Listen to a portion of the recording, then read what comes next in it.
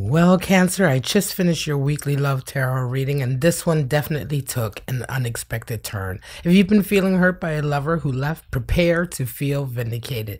The devil, death, and a tower moment definitely reveal some karmic justice is coming. So let's go back to the beginning and see how it all unfolds. Your weekly love tarot reading begins with the Hanged Man, Four of Wands, the 1111 card, Two of Wands, and the Wheel of Fortune.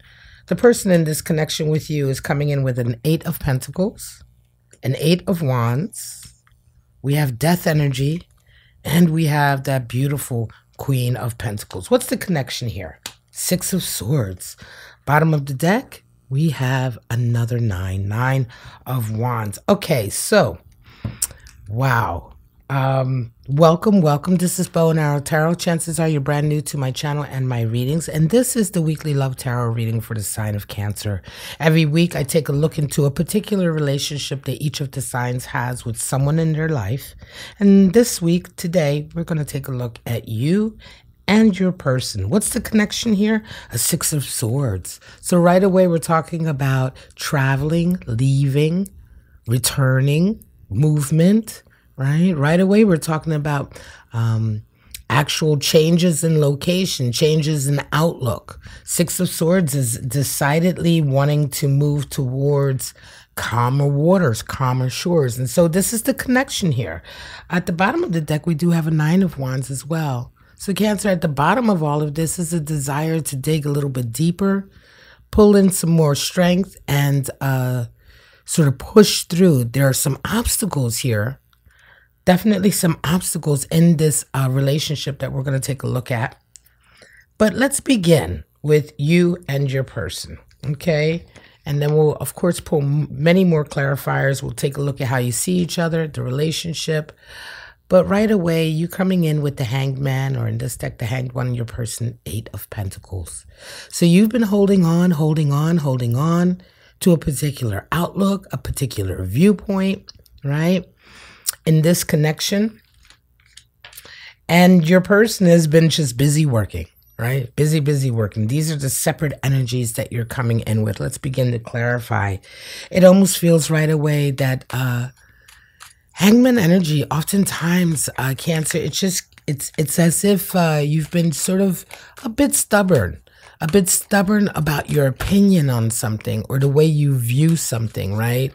Um, sometimes that stubbornness can lead to an understanding, and sometimes it keeps you from an understanding. So let's go ahead and pull some clarifiers and see what is this all what how is this hangman energy for you connected to the six of swords? Because hangman is really really heavy level of sort of commitment. It's almost like an ascetic monk you know? It's somebody who just stands the course stands the course no matter how long or or you know how constricting sometimes it can be. Show me more.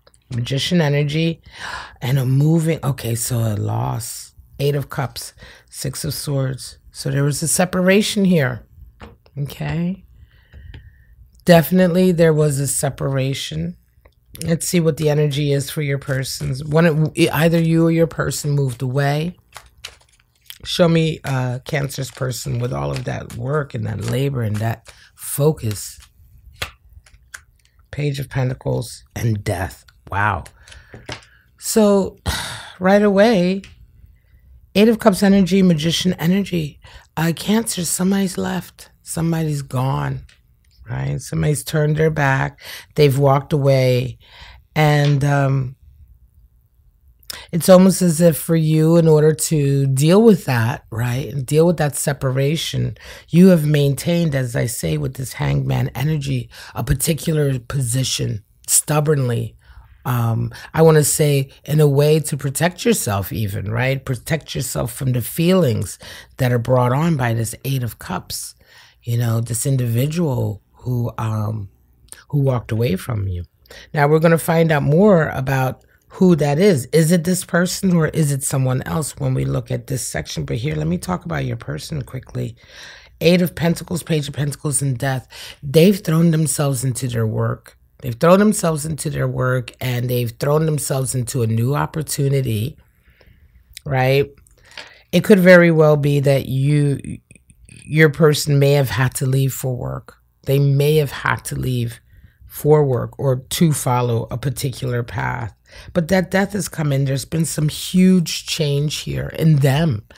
Not necessarily, uh, well, by definition, I guess, in this relationship as well, but there was some big change that happened in this person's life. And it absolutely had something to do with their work, right? Absolutely has something to do with, um, you know, what they do for money or the or what they do in general. So let's take a look at how you and your person see each other. What do you see when you see them? You see happiness. You see the 1111 card, you see happiness in their life, you see celebration in their life right? Um, they see you and they see a lot of energy. They see a lot of movement. Eight of Wands. It almost feels like, listen, it feels like this is um, Cancer. This is someone, I hate to say it, but this feels like a heartache reading. So there goes, there's the siren. Every day, for some reason, at some point during the reading, in comes the siren. Take that take that sign as it resonates with you. Um maybe alarm bells, you know, maybe what you see isn't exactly how happy they really are, you know what I'm saying? But in any case, 4 of wands, you see them right now and it almost feels as though they are content. This feels like a breakup that's happened, Cancer. This feels like a breakup and um it feels like uh, a person they they left. Something changed in them. You know what i'm saying? Something really changed. And it has something to do with like very strongly what you know like what they've been up to physically in their life. Job money right? Um some of you this person may have left left because of money right left to but yeah, there's a heartache here. Let's show me more about that 1111. Wow. Ace of Wands and the devil comes in. Wow. Um, so for some of you, Cancer, this person left to follow uh, a path that perhaps wasn't the greatest path in the world to follow. Right? What do you see when you see them? You see this celebration, this happiness, right? Um, but you also see that something new is coming into is come into their life that is not good. That is really, really not good. I almost wonder here, Cancer, do you see them moving on with another person, but somehow you see the true side of that person? You know what I mean? It's like you are holding on to your position here. Like you, you're holding on to your position, and I'm starting to get really strong sense that you're like, listen, I'm holding on to the fact that this new person in your life that you may indeed have left me for is not a good look.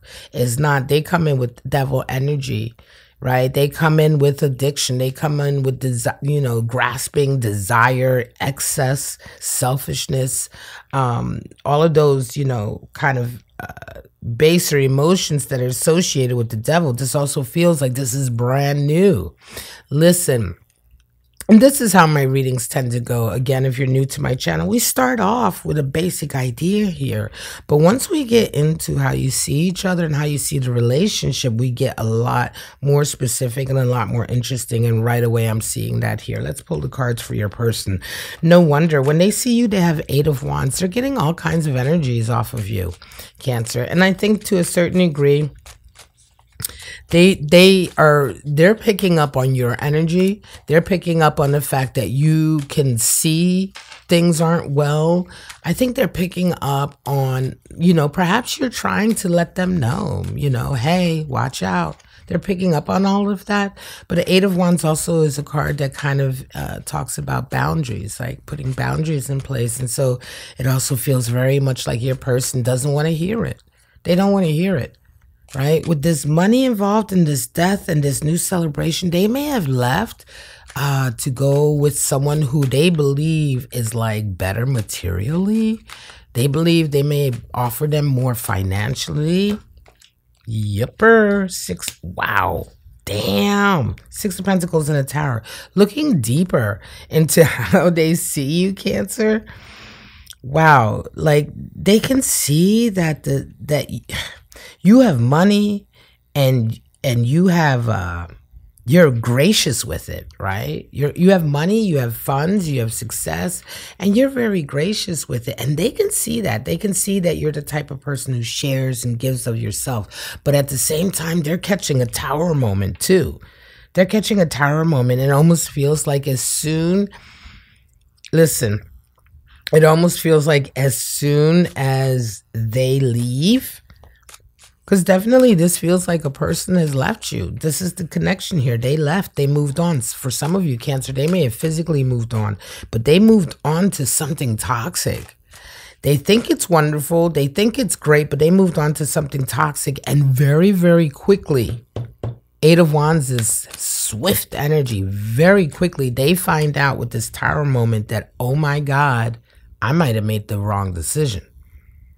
I might have made the wrong decision. Okay. Because here, my cancer is exactly the loving, nurturing individual that I really truly wanted. Because here you present with more, you know, physical energy, but this is financial success and abundance and the willing to willingness to give and share. Well, if you're dealing with somebody who's financially orientated to begin with, and who may indeed have left you or left this connection for someone else, uh, that has more money and is then realizing that, oh shit, maybe they don't have that much money. Maybe they were playing games with me. Maybe, yeah, the money, they have money, but it comes at a dear price, right? I'm not paying financially to be taken care of, but I'm paying in other ways. You know what I'm saying? right? And so they have this huge tower moment here, Cancer. And I think they realized that they made a mistake. Ooh, what? I think they realized they made a mistake, Cancer, and you're holding strong here, right?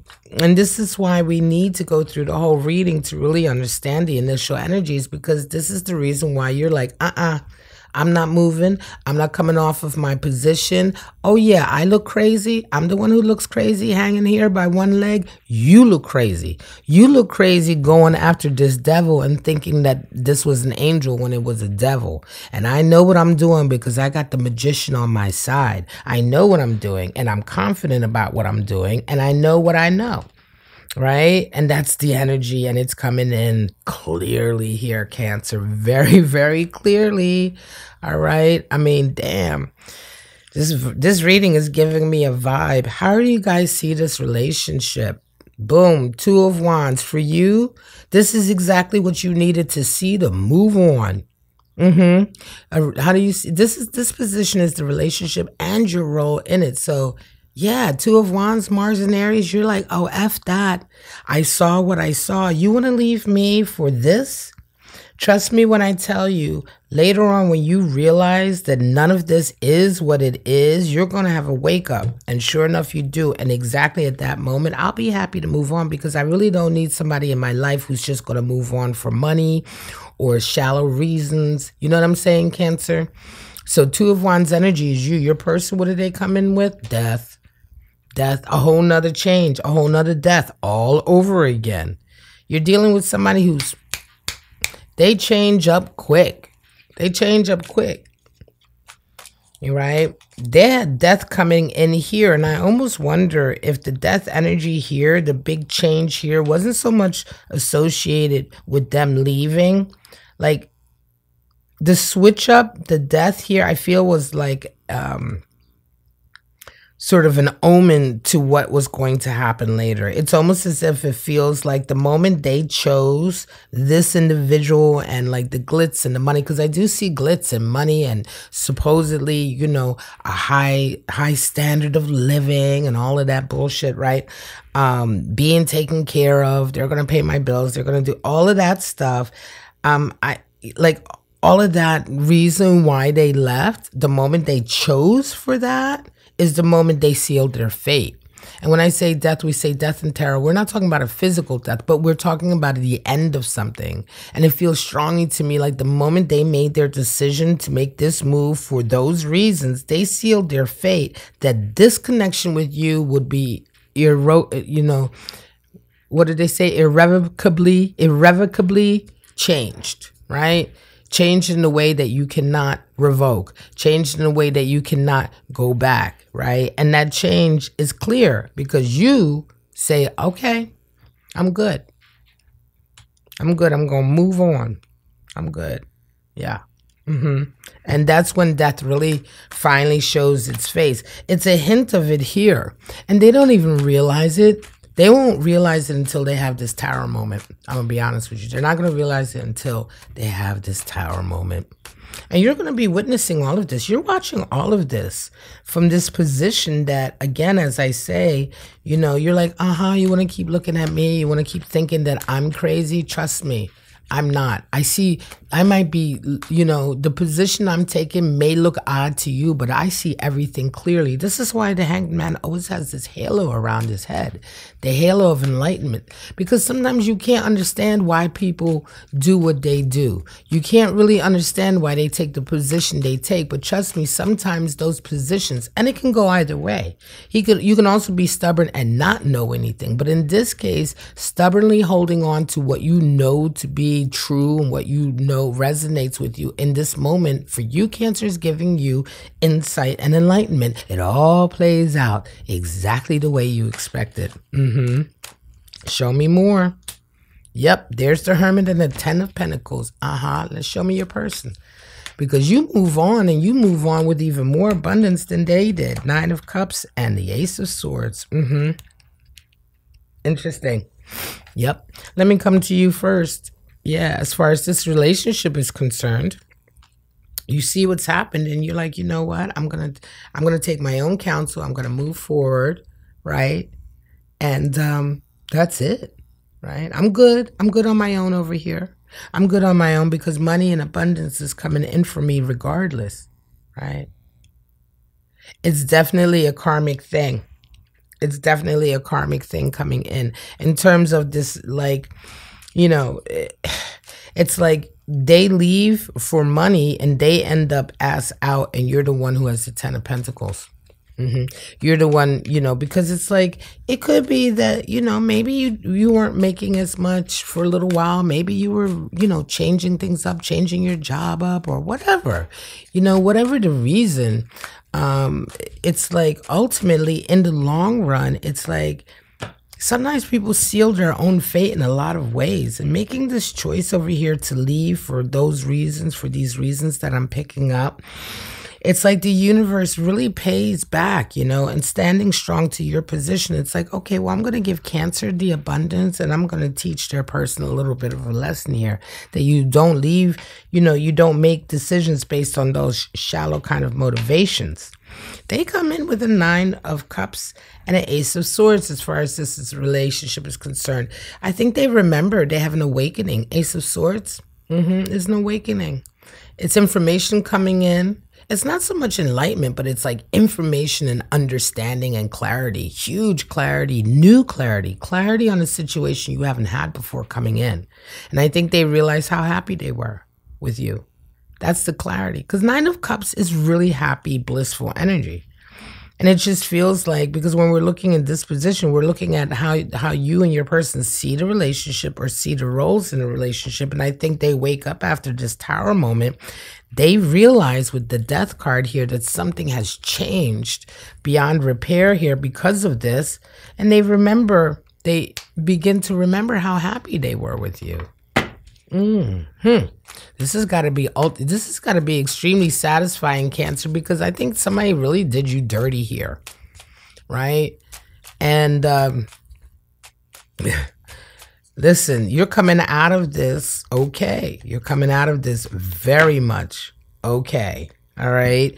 Let's see how you end up. Final outcomes: Wheel of Fortune and Queen of Pentacles. Interesting. Wheel of Fortune energy comes in for you and Queen of Pentacles for your person. Well, I believe that for you, events are going to start happening. Uh, luck is happening, divine events are coming in, all of them to kind of nudge you back on your path.